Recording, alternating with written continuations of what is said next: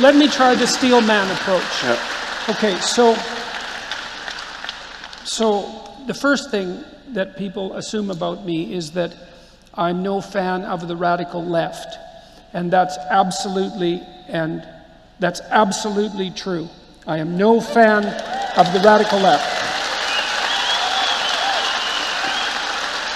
And that's primarily because there's a variety of reasons, but it's primarily because I believe that the radical left errs in insisting at every possible opportunity that the proper defining characteristic of each individual is their group membership.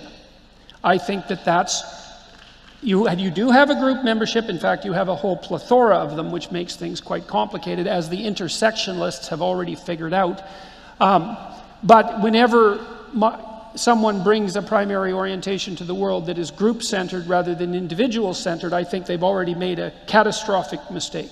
And so I don't approve of the collectivists. Now, I don't approve of left wing collectivists, and I don't approve of right wing collectivists. But the right wing collectivists haven't overrun the universities, and the left wing collectivists have. So, so that's a distinct difference. Now,